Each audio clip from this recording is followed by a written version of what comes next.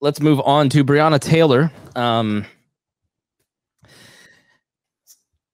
I am surprised. I guess I shouldn't be at how many libertarians and conservatives have bought hook, line, and sinker government propaganda around this.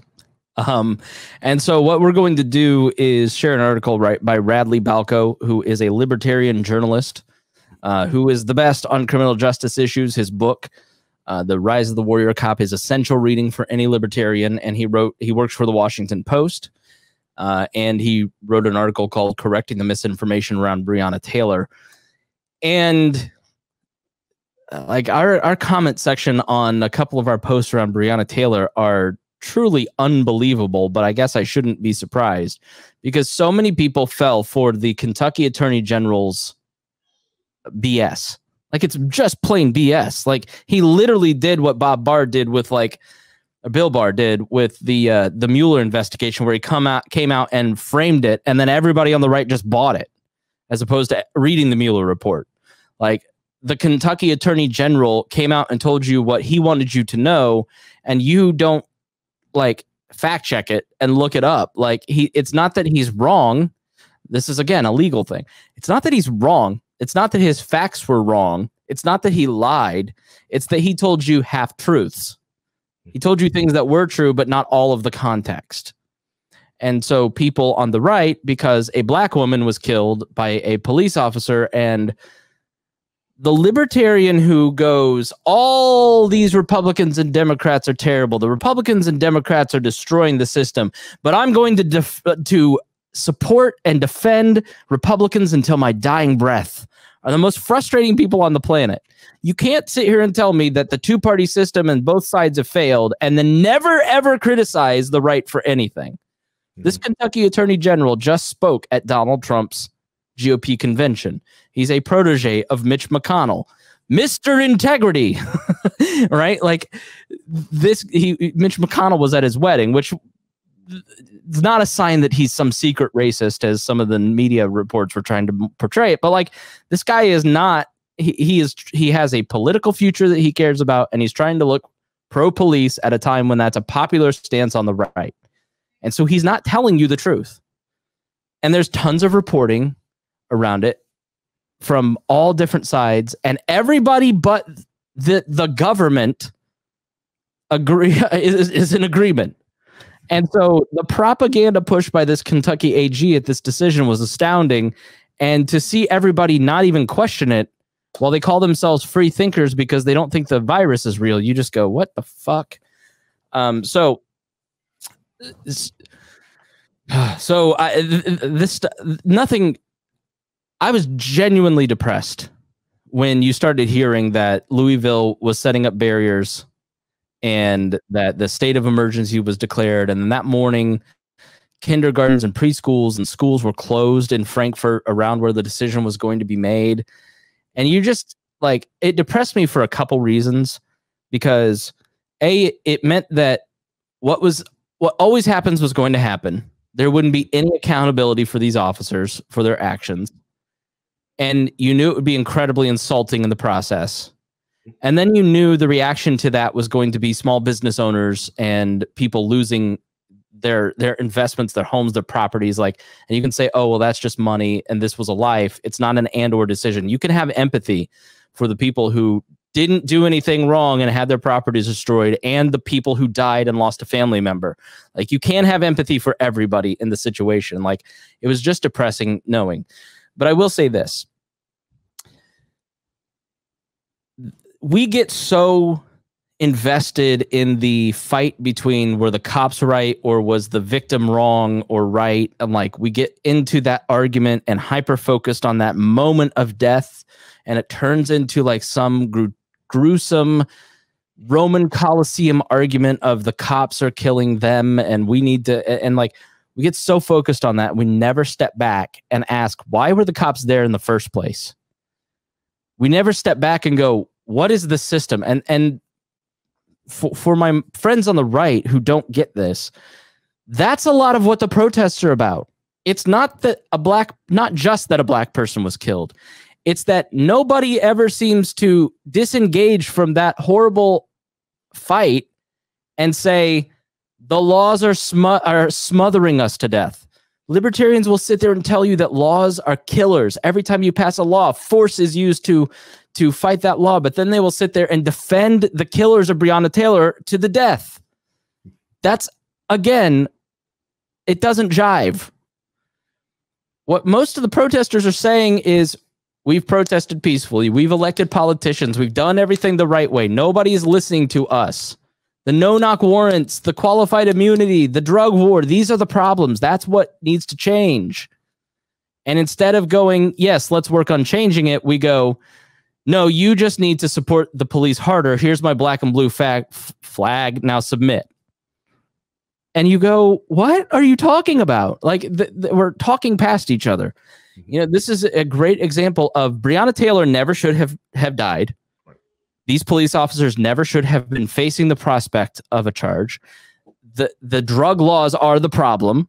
Society is at large saying no more drug laws. It doesn't work. Everybody's being killed and put in jail for laws that don't work. Look at Portugal, look at Chile. When you decriminalize and legalize drugs, life gets better for everybody. There's less crimes, there's less criminals. And so um yeah, Henry, stay tuned. Henry says the police knock on the door at a suspected drug house. No answer. They break open the door to gunfire. The police get to protect themselves. I'm going to explain to you why you're 100% wrong. You're parroting propaganda from the government. You don't know facts. I, I apologize to the first Secretary of War for the United States, Henry Knox, but you're wrong. You just don't know what you're talking about, and you don't care enough to look. And that's the frustration is that you're saying this bullshit and you're lying to yourself and you're perpetuating the system that is going to kill another Breonna Taylor and going to enable another cop to kill another Breonna Taylor, and then he'll go to jail and or, or not. Like the idea that the only cop who got charged in this entire thing is the least responsible of the three for the death of Breonna Taylor, and the charges are for shooting a wall. Mm-hmm. It was more illegal in this situation for the cop to shoot a wall than it was for him to shoot Breonna Taylor. Mm-hmm. It's so insulting, and, and it's the insult. It's the system that enables that and these charges and the lack of accountability and the judge isn't going to pay a penalty. You just go, mm-hmm. what? So let me explain to you why most of you are completely wrong about the facts uh, around Breonna Taylor, as eloquently put by a person who knows what they're talking about in Radley Balko. And I'll put this article in there. Stop making yourself look like a fool on the internet. Because you it's just oh it's so frustrating. It, that like i just look at this and i go all of this is preventable. The death of breonna taylor the charges against the cops the riots in louisville all of this is preventable if we actually take the root problem seriously. But we don't do that. We argue over whether or not the shoot was justifiable or not. It's fucking ghoulish. So brett hankison Hankison was uh, charged with wanton endangerment. And uh, Radley Balko says this was probably correct, as was the decision not to charge the other officers involved in the shooting. If ballistics had conclusively shown that one of the bullets from Hankison's gun killed Taylor, he should be charged with reckless homicide. But according to Cameron, the AG of Kentucky, the bullets that struck Taylor could not be matched to Hankison's gun. There's the problem there's the problem that the police who conducted the raid were relying on a warrant produced by another officer, which was then signed by a judge.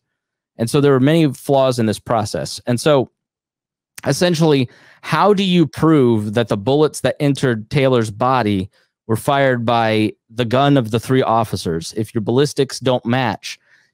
It like justice demands that you can't you can't just charge all three officers with murder well, we all we don't like this situation, and we have no concrete evidence of which one of these three officers killed her. But we're just going to charge them anyways. That's an that that would be wrong in and of itself, right? Like if it, it, it if you were in that situation, you got to put yourself in these mindsets, right? Like if I were the officer, would I want to be charged with murder? And then it's going to get overturned by the criminal justice system. So why even fight that, right? The problem, the root of the problem is why were they where there and how did it happen? So there's there's a lot of criticism that goes along here. Um, you know, Cameron himself, the AG, was selective in what information he released in that press conference, which is why many people are asking what information was selectively hidden from the grand jury. And that information is not being released. And so you're going to see increasing calls for the grand jury testimony and all of that information to be released. Cameron's not going to want to do that because he wants to run for governor or senate or something bigger than AG. And so he's not going to want that out there. Um, so furthermore, Balko writes Taylor's death was not, as Cameron suggested, simply a tragedy for which no one is to blame. The police work in this case was sloppy, and the warrant service was reckless. Taylor is dead because of a cascade of errors, bad judgment, and a dereliction of duty. And it's important to be clear about the facts. So the first myth that he takes on is that this was this was not a no-knock warrant. It was absolutely a no-knock warrant. It says it on the warrant if you look at the warrant. The portion of the warrant authorizing a no-knock entry cited and cut and paste from the warrant that day. A no knock warrant is an incredibly serious warrant that is issued by a police department for executing. It, it should be a last resort because these are violent drug criminals. Everybody's got an Uzi on the other side of the door. The prosecutors and everybody involved just copied and pasted information from four different warrants, and the judge just signed off on them. So the uh, this is a violation of a requirement set by the Supreme Court that no knock warrants should be granted when police can present evidence that a particular suspect is a risk to shoot at police and destroy evidence if they knock and announce.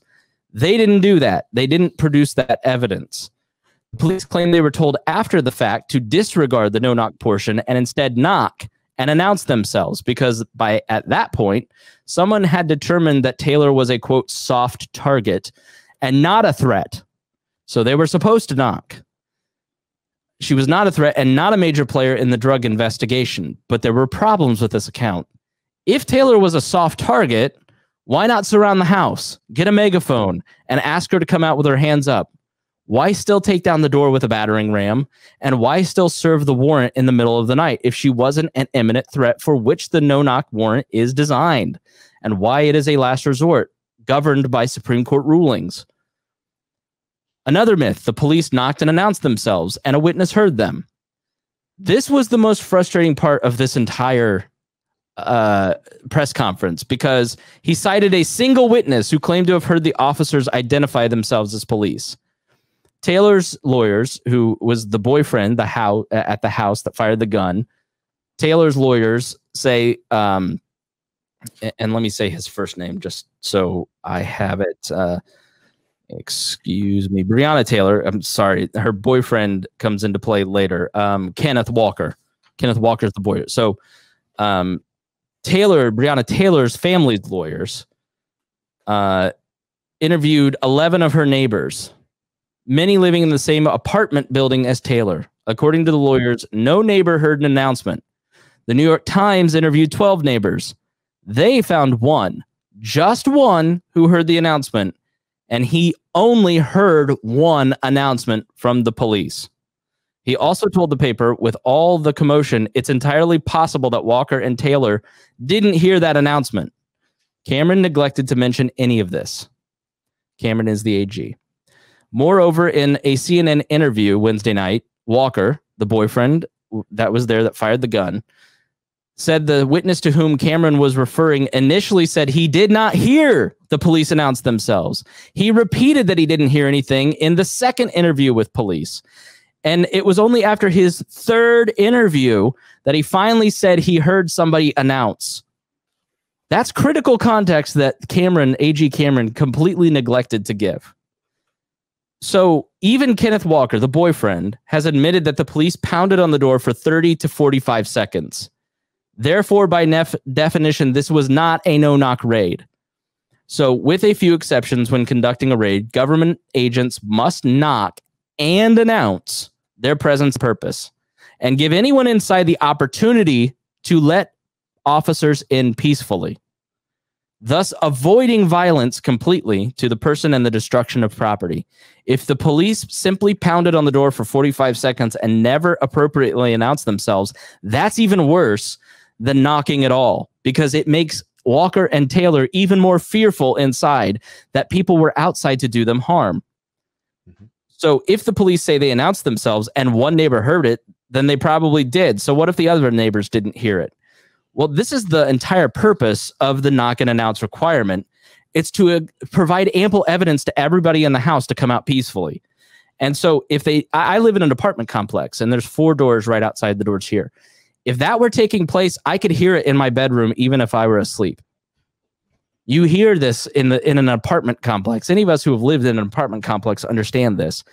If the police didn't yell loudly and clearly who they were, loud enough for the people inside to hear, the knock and announce portion is rendered completely meaningless, and the entire action becomes no different than a no knock raid. As the Times reported, the officers on this raid were trained by the man who is now the president of the Louisville City Council. He says, he told a local paper, during his 19 year career as a police officer, he had instructed recruits at the local training academy about dynamic entry, especially when executing a warrant at night. He told the police to yell police at the top of their lungs, specifically so that the occupants would not mistake them for an intruder. Now, the next myth is that Breonna Taylor was asleep in her bed when she was shot. It's true that she was not in her bed and, and shot and killed while asleep. Um, many reports of from the media and activists claim that is true. That's they were in their bed when the police began pounding on the door. They were awakened at 12:40 a.m. and there's every reason to believe Walker when he says they were frightened. The man who shot the police, the next myth, is, is Breonna's Taylor's boyfriend, that he was a drug dealer. Taylor's ex-boyfriend was dealing the drugs. A man named Jamarcus Glover, who was the main focus of the police investigation. They were on again, off again. He was a bad guy that many of her family did not like. She had blocked him from her phone. She was trying to get away from this man. He was clearly a dangerous individual. The man in the uh, Walker was her current boyfriend, not her drug dealing boyfriend. Okay. He was not named in the investigation whatsoever. So a few people have pointed to a leaked police memo that includes quotes from Glover taken from recorded phone conversations at the jail as proof that the two knew one another. The Louisville police themselves have said that the leaked memo was an early, unverified draft written mid investigation, that these quotes were taken out of context and that they were being used as deeply misleading. For example, Glover said Walker was also in jail. He was because police had arrested him after the raid. The next myth is that Breonna's Taylor's ex boyfriend implicated her in his drugs dealing. The Times reported that according to friends and family, Taylor's social media posts, she was on again and off again with Glover, who friends and family and Taylor herself thought was bad for her, and Walker, who said they say treated her well and was, by all accounts, a good and decent man. Glover was in and out of jail, and Taylor paid his bail more than his bail. She seemed to genuinely care, care for Glover, implicated in the investi- investigation, and she but she was trying to extricate herself from uh, Glover's life. There are a few other instances in the warrant that have some have some have said implicated Taylor. In December 2016, she rented a car and loaned it to Glover. He then loaned it to a man involved in his drug dealing, and that man was found dead in the car.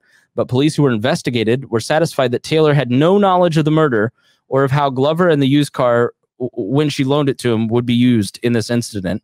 And the other incident occurred two months before the raid when Glover retrieved the package he had ordered delivered to Breonna Taylor's home.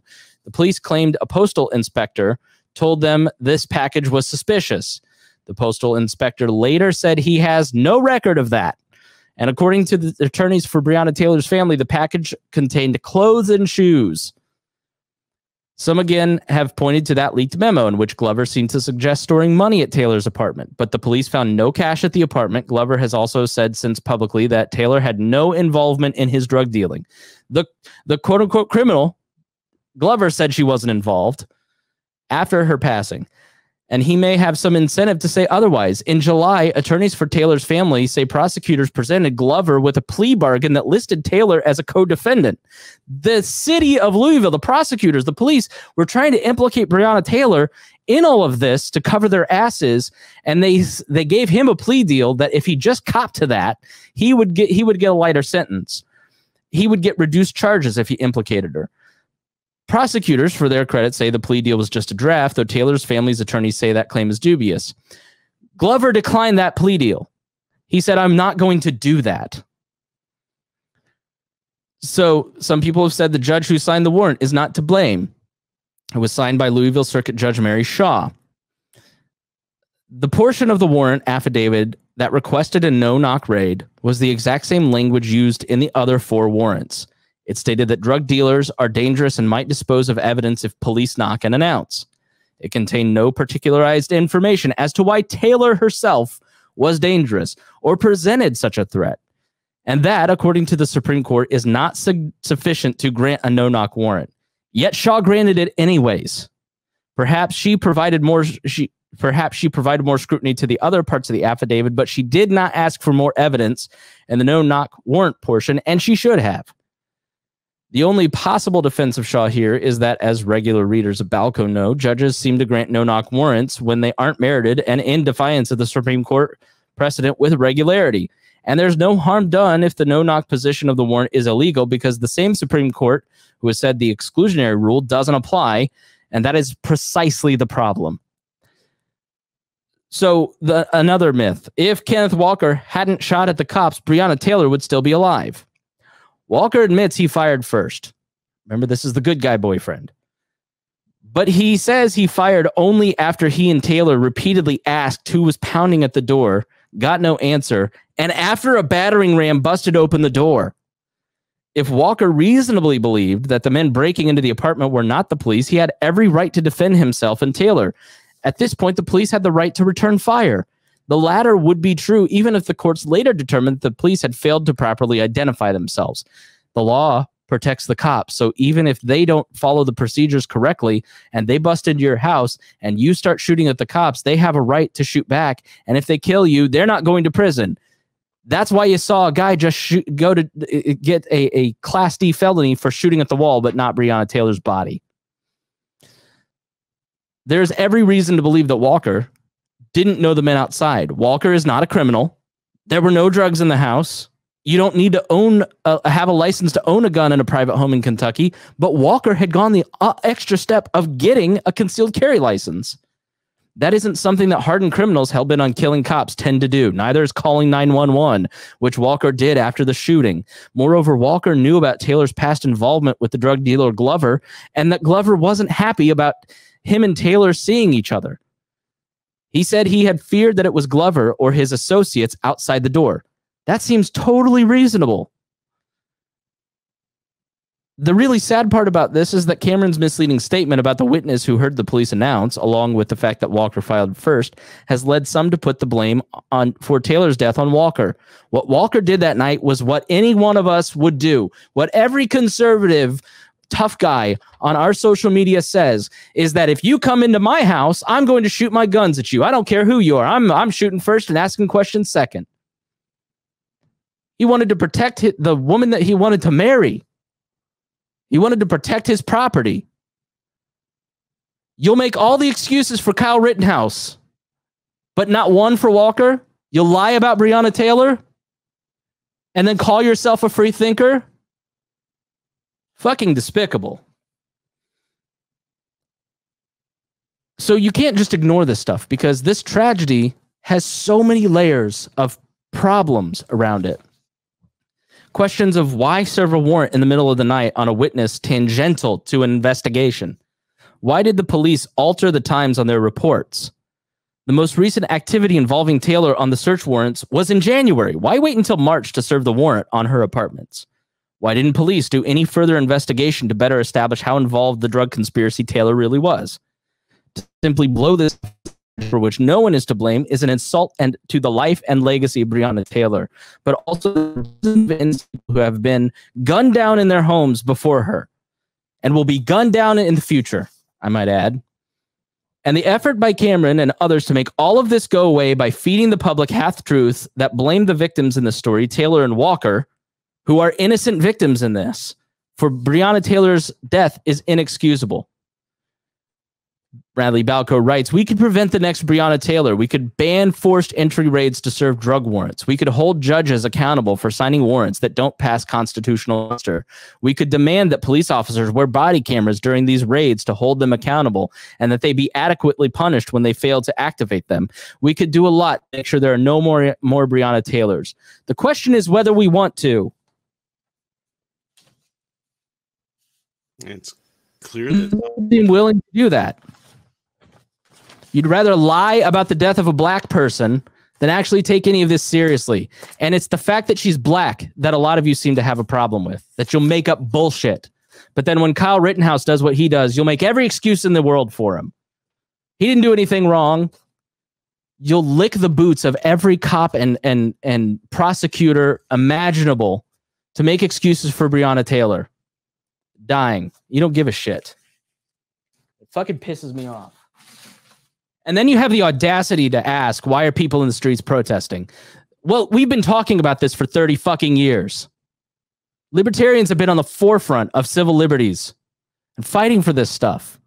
And then when we are at a moment where the majority of America is ready to make a change, you just start licking those boots. You just go, the cops didn't do anything wrong. She, oh, she, she was a drug dealer. You spread fake fucking news and then you, you literally spread the you verify the whole Russia bullshit that we've been arguing about for three years because you're just buying into state propaganda.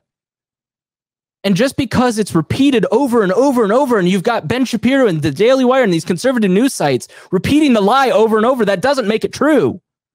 There's real facts here that you can fucking see. What is wrong? Oh, I don't. Uh, what is wrong with people, Rhinehold? I don't like everybody's in agreement except for the politician that's lying. And then everybody just repeats lies back to me. And then they go, Why are you mad about this? Well, it's an us versus them type of mentality. But there's something that's really interesting too is a lot of the people who are claiming that uh, the, the police weren't wrong in anything they did here are also people who call themselves patriots. And if you go back and look at what that word supposedly meant. So back when that kind of that kind of word was used in the American Revolution, the patriots were the ones who were fighting against the government oppression, the no knock raiding, basically the the unwarranted searching of people's homes, the what what the government was doing against them, right? The the patriots the one fighting against that, whereas the Tories were the ones who were supporting the mm-hmm. government, you know, England and saying that the that the you know do, basically doing the same thing that these people who call themselves patriots are doing. These are the people who were supporting England during the Revolutionary War. This is exactly what they're doing. You can't call yourself a patriot if you're not going to fight against overreach by the government. And make no mistake about it, all of this is overreach by the government. There's no excuses for people for, for this situation to have happened. There, there's literally every bad decision was made and bad system was put in place to to allow that to occur.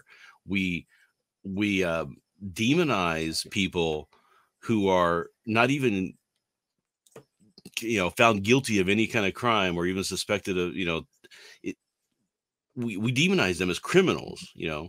People are calling the uh the boyfriend a criminal he should have had a gun felon buzz they got it all wrong and it, it's it's so frustrating to see that because um, these are the people who are also trying to claim that. So a great example in in something that I saw recently. So a woman gets arrested at a a, um, a game of some sort. I remember what kind of the football game, basketball game, or not it was outside event, right? Because because she was trespassing, because she didn't want to wear her mask. They asked her to leave. She said she wasn't going to leave. Therefore, she was trespassing. So they came mm-hmm. and grabbed her and they forcibly removed her. And there's a video of a relative or a friend or something uh, uh, for this person who was so incensed about this that he went down to the police station and he's filing out a report and he's videotaping the whole thing saying, you know, I'm usually for the police and backing the blue and respect everything they do, but this time they went too far. And it's like, that was so, you know, as soon as some of these people run into injustice from the government, all of a sudden uh, they become, you know, I want to have a protest and we should have this guy fired and this is all should be changed. But mm-hmm. when it happens to other people, apparently it's not important enough for that to happen. They're going to defend the police against all of that. And it's we've militarized the police. We've we've put so many laws in place that the police can basically target somebody and just do it. There was a uh, a program in the city recently where I think it was in Tucson or somewhere that um, they were trying to precognition whether or not somebody would would would commit a crime. So they were putting these, you know, this computer program together, and they identified these people and said, "Well, we think that they might become criminals one day." So they started harassing them and trying to find anything they could find to get mm-hmm. them behind bars on on any technicality. Well, there's so many laws on the books that that becomes easy to do. So we you had families just being harassed by the police department and having done nothing wrong at mm. all, you know, completely innocent of everything. And um, that's how the system gets abused. And we want to talk about, well, okay, this is just a case of uh, over ambitious uh, policing, and it's not about a race issue. That's true, and it's also false, right? So there are truths that the government that the police will over police uh, on these drug things and, and they're trying to make quotas and and they'll violate rights of individuals all the time. But there's also the aspect that in that situation you can look at the numbers that the statistics supposedly show that the black people are creating or committing more crimes. Well they're not committing more crimes. They're just getting punished for the crimes. They're, they're the ones being sought after because the statistics say that so it's like a it's like a, a feedback loop mm-hmm. that reinforces this this notion that's just not true when you look at the actual data. You know, people go, well, look at the FBI crime statistics. I thought we weren't listening to the government. I thought the government was lying to us. Mm-hmm. Now you want to believe the FBI statistics, and you don't even do any research into what the FBI statistics say and why they say what they say because you want to use those to defend the government's continuing to to to to violate the rights of these people. Right. And it's it's it's maddening because these are the people who supposedly call themselves patriots and they're not. They're the exact opposite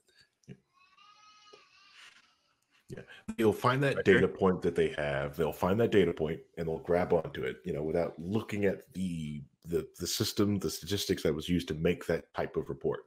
It is the sickening thing with uh, the Breonna Taylor thing that was already got me is as a gun owner, you go through your gun training that you know, You're regardless of what's going on, like you can defend your house, you're still responsible for all these the bullets that are coming out the, the your gun. You know, you're responsible for every one of those. You know, so and it just shows that Kenneth Walker was held responsible for his bullets coming out, but they weren't held responsible. You know, they they shot someone who was shooting back at them. That's the thing they always got me. It's like, okay, but she mm-hmm. shooting. It's it's like yeah. so you're not responsible for the bullets leaving your gun. You know, so so if you have you have reckless endangerment because you're shooting at somebody uh, at a wall that might affect a neighbor who's not involved, then why would you also not get reckless endangerment for finding somebody who's not attacking you, who's not being violent against you, who's not a danger to you, right? And it's we we give the the police this, you know, well, he's going for the gun, and that's their excuse now. They carry you know drop guns. They do all these things to to make the shooting good in their minds, mm-hmm. but they're not taking the time to say maybe I should wait a second more. Correct. You know, let me wait till I'm actually in some sort of danger. You know, mm-hmm. video of a a, a guy who had gone on a high speed chase. Uh, they got him into a parking lot of a a, a store, and uh, he gets out of the car and he's complying with everything that they're asking him to do. They tell him to get on the ground, he gets on the ground. They tell him to roll over, he rolls over. They tell him to put his hands in the air, then they tell him to stand up. You know, he's done everything that they've asked him to do at that point. So he's no longer an active danger to anybody. He's not driving the car and hurting anybody. He's he's complying with their law, with what they're telling him to do. And they release dogs on him. Right. And he had done a, literally nothing wrong. And they're like, well, he kind of hesitated. He showed you he had no gun. He had lifted up his shirt and proved he had no gun on. He was no danger to you whatsoever. And you still release the dogs on him and let the dog chew on him for a, a full minute while you're trying to tie, you know, and he's screaming, let get the dog off me, help me get the dog off me. And they were just telling the dog, good boy, you know. And it, nobody's outraged, you know, and, and and it's like we said, we they've been marching in the streets, they've been having protests. Look what happened to Kaepernick when he was trying to make a point. He was trying to get attention to the issue. It just mm-hmm. devolves, you know. So what at what point you know, I don't think they should ever go into a violent situation. I don't think I don't support violence, but at some point you have to understand their frustration right? You have to understand the frustration and feelings where it's like, this is an oppressive government to these people. It's the same mentality as the people like the, anti-mask. It's just amazing to me that the anti-mask crowd who marched in the streets in April doesn't understand the the Black Lives Matter protesters who marched in the streets in July. Right. Like the point is that the boot of the neck of the government, uh, the boot of the government is on the neck of the people. Mm-hmm. Like people are saying rightly, you don't have the right to close down my business and destroy my life. And they're saying you don't have the right to destroy my life. And then nobody's held accountable. A wall is more valuable to the state of Kentucky than the body of Breonna Taylor. And then we look at them and say, you don't have a right to be offended by that. Mm-hmm. And then they look at us and go, You don't have a right to be offended by your business being closed down. The problem is not like we're sitting here buying into the propaganda of the president who wants to pit each other, pit us against each other. Like people go, Well, you have, you are, you have Trump derangement syndrome. And you go, That is the president, the head of the government, trying to maintain power by any means necessary. And his chief tool is pitting you against me so we don't look at him and go they're the problem. The system is the problem. The government is the problem. The one thing that this government does not want is black lives matter and the tea party marching together against them. So they pit us against each other and the media just all right we're going to get all kinds of great ratings out of this fight because it's the coliseum. It's the same ghoulish mentality of our Roman forefathers who were watching cops and black people shoot each other and fight it out and which which team am I on?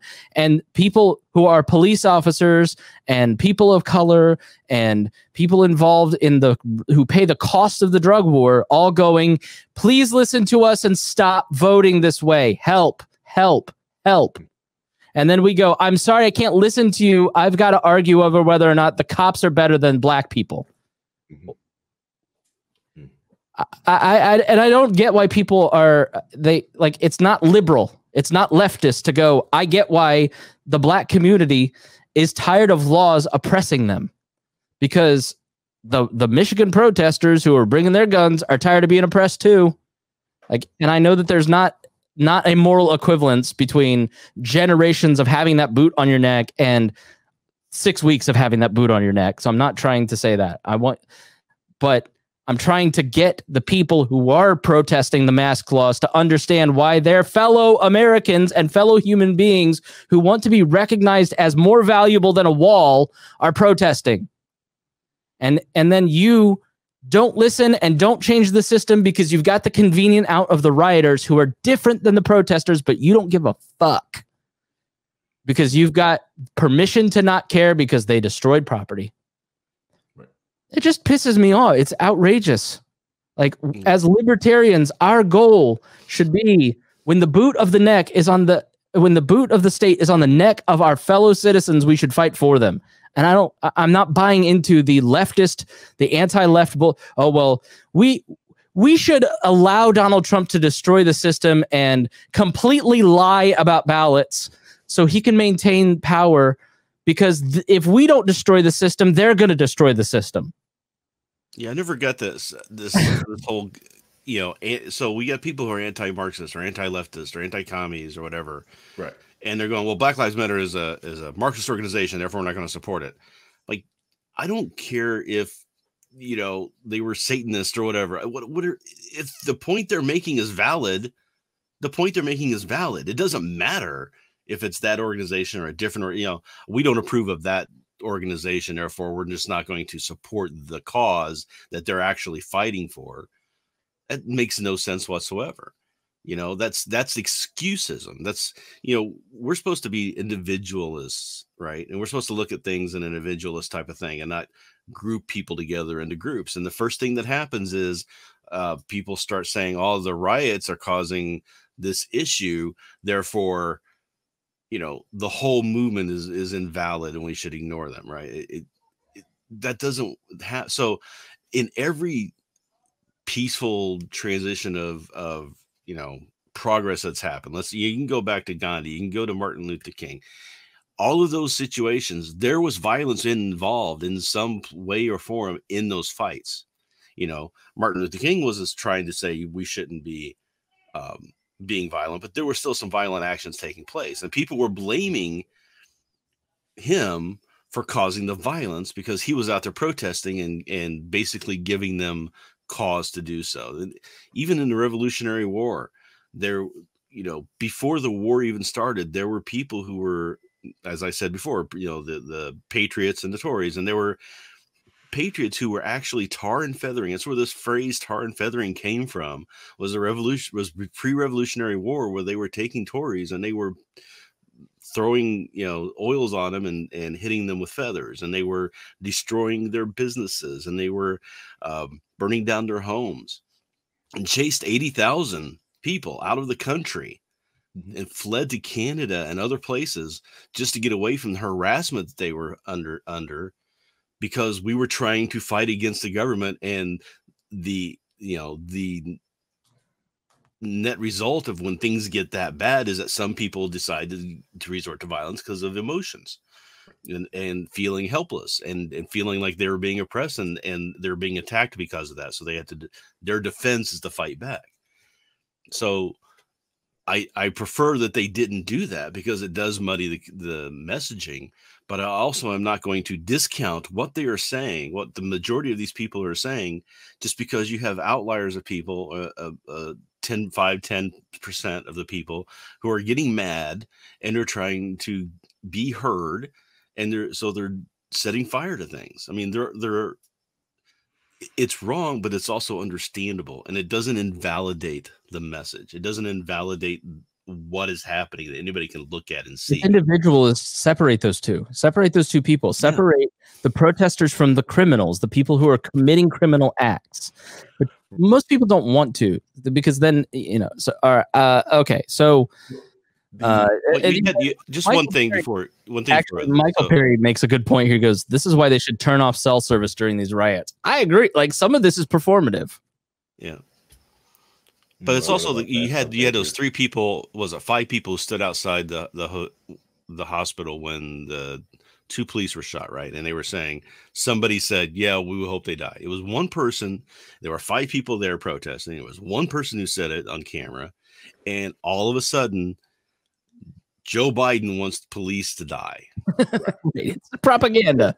within a day. I'm Right. like, that's that's you're being used. You know, don't fall for that stuff.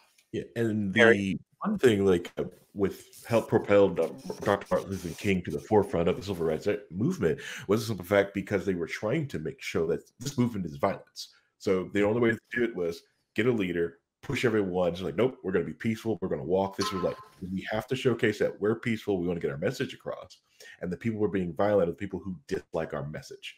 So we're going to show up at, on our Sunday's best, our Sunday best, and we're just going to walk. Mhm. This is how we're going to do our protest now because anyone doing something regardless different than us it's not with us and that's one thing that I like i get the leaderless movement thing trust me I, I, I like the spontaneous order about it but you will get people who just will say they are part of this structure coming down there, and they will be. And sometimes they're just bad actors or grifters just trying to get something. There's a great show. Oh, go ahead, Harry. Sorry.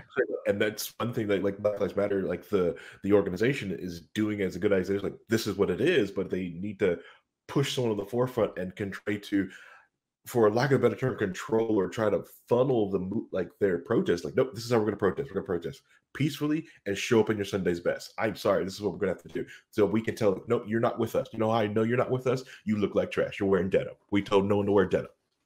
Yeah. So um, there's a great show on Showtime. I pay Amazon Prime for the Showtime subscription solely for the circus and CBS for 60 minutes because I'm an 80 year old man. Um, but the circus is a bunch of reporters that travel around and do like on the ground immersive journalism on video. And they went to Kenosha. And at the end, he's talking to, um, and, and the ballot one, we'll play a, an audio clip of it next week. It's great. Um, but we're going to talk about all the mail fraud and the basically Donald Trump's complete lies in a couple episodes on, uh, next weekend. Um, because he's just lying to win re-election and y'all are falling for it. And i, I just again it's going to be an, another angry episode. I apologize if i've been too much but i, I this just it's pent up rage for a week on this. Um but they they interview a guy who's been head of the black lives matter movement in milwaukee. And he's like we don't want any of this. We go home and we're in bed by the time these people are destroying this stuff. It makes us look terrible you know, Daily Caller's on the ground in Louisville the other night, and I'm watching on Twitter. There's a clip from the Daily Caller reporter, one of them that got arrested. Police arrested them, even though they said they were journalists. And Ali Velshi and all these other journalists from around the world said, "Yep, these Daily Caller journalists should not have been arrested." It was nice, nice mending fences a, a little bit. This guy pulls out a gun and all of a sudden all the other people rush the guy with the gun and take his gun away and make him leave if you watch the, and, and maybe that's why they shouldn't turn the cell service off because when you actually watch the video of what's happening on the ground the narrative from the right about these protests and the president is completely blown apart. It's it's really what individualists like libertarians often say. There are a thousand different motivations in a crowd of a thousand people for being there. And to block all of them as one group of individuals. It's it's why I hated it. I hated when the Tea Party got like I lost it on the the forthcoming episode of the the Pat Down where Miss Pat says I'm a racist for being a part of the Tea Party. And I was just like, how fucking dare you? You know what I mean? Like, I just, it, it, everybody shows up to the Tea Party rallies 10 years ago with different motivations. The QAnon conspiracy nut at the anti-mask protest standing next to the small business owner that's angry about his investment being destroyed have two very different motivations. And you get mad at the new york times when they conflate the two. Um, i will say this. I want to uh, you know a lot of great comments. I want to thank um, ethan bishop hinchman for saying gorsuch is an episcopalian kagan is jewish and then everybody else is a catholic on the court. Um, Warren B says it's a sad chain of events. Thanks for the breakdown, Chris. That's the most thorough one I've heard. As someone who lives in Kentucky, I get my news from a guy in Indiana. Um, Jericho writes To be fair, people are so used to being indoctrinated into being free thinkers and independent researchers that they believe the quick post and info they see on the internet. It's sort of difficult to sort out the real facts as lay people.